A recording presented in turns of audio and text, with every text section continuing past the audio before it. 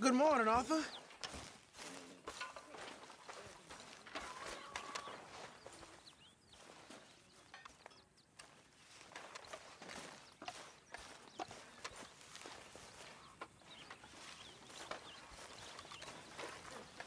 Listen, uh, Dutch, can I talk to you a minute?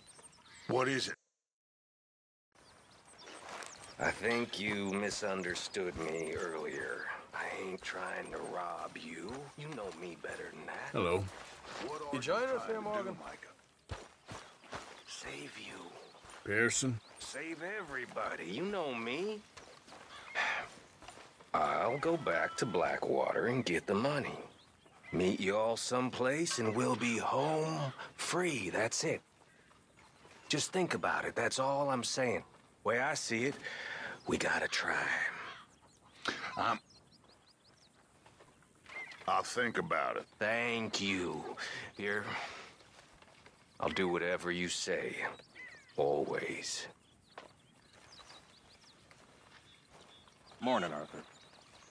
Don't you tell him a thing about that money. I ain't a fool, Arthur. I know. I just don't trust him. Anyway, I won't disturb you. Okay, Arthur.